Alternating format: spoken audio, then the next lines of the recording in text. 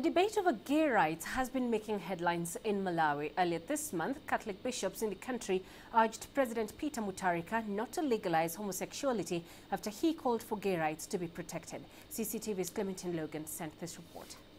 The issue of homosexuality is a contentious one in Malawi, and President Peter Mutharika's recent call for gay rights to be protected has reignited a debate. According to my belief, it's, it's not on. It's because according to uh, what we believe in, is a man should marry a woman, all right? Not uh, a man marrying another man or uh, a woman marrying another woman. I don't believe in gays.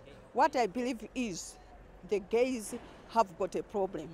And that problem can only be assisted not by science, but through spiritual healing. Last year, Malawi announced a ban on anti-homosexual laws pending a decision on whether to repeal the legislation. If the government does decriminalise homosexuality, it will join neighbouring Mozambique and a few other African countries. But for now, the situation remains unclear. Malawi's Ministry of Gender, Children, Disability and Social Welfare passed what it called a Comprehensive Marriage Act at the start of last year.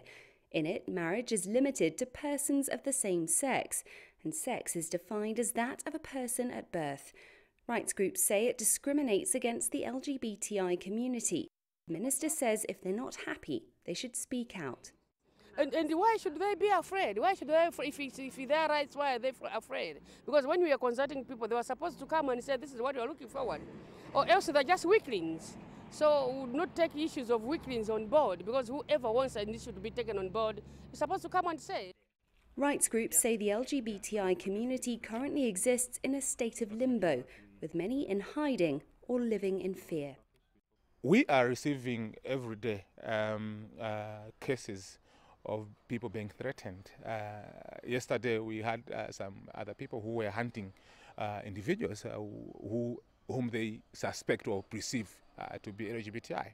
So this is the hostile environment that uh, the community are facing. Something has to be done and the government should take leadership to make sure that uh, it puts everything in the right course to make sure that every person in the country adheres and respects the rights of everybody. Because for me, I don't believe there is what we call gay rights.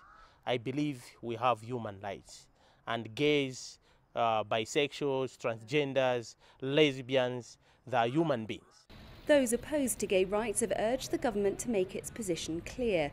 Catholic bishops in the country have also weighed in, calling on President Mutharika not to bow to what they've called international donor pressure to legalise homosexuality.